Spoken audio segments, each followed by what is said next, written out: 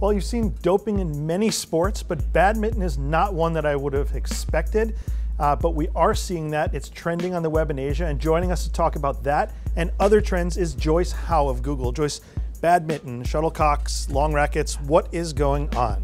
The big scandal in sports, at least in Singapore and Malaysia last week, was of course uh, that ba Malaysian badminton champion Lee Chong Wei was found to have tested positive for the drug dexamethasone, which is apparently a steroid that some are uh, using in a lot of stem cell trials.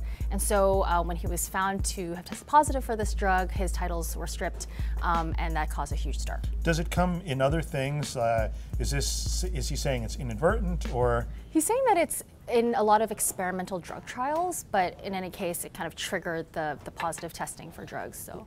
So moving on, what else are we seeing that um, people in Asia are searching for on Google? A big pan-Asian trend this past week was WhatsApp's blue ticks. So if you're a heavy user of WhatsApp, the mobile messaging app, you will have noticed a new feature, which is when you send somebody a text message on WhatsApp, um, one tick shows up. And then if it gets sent to the server, two checks show up. And now, starting this past week, when they read the message, you get a blue set of uh, double ticks. Ticks, like check marks? Yes, well, exactly. Americans would call it check marks, but everyone else seems to call it ticks. And what's interesting is that even though WhatsApp is an American company, its use is really primarily outside of the US. So people are calling it blue ticks because that's what they call those things. And I remember seeing the story that some people are getting flipped out by this. What, what's the big issue? Yeah, it's caused a lot of um, heartache and grief, you know, when you send somebody a text message and they don't respond.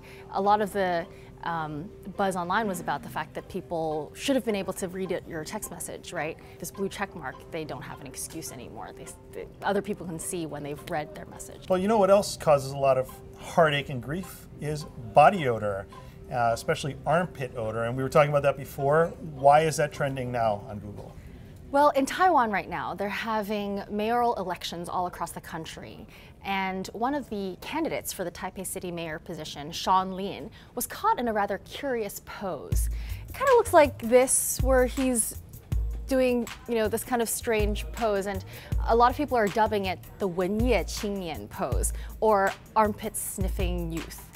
So this, of course, spawned a lot of hilarious memes online. A lot of celebrities and sports people in Taiwan are posting pictures of themselves doing that pose. It could also be a hard-hitting issue here in our studio when a middle-aged guy is doing the same thing.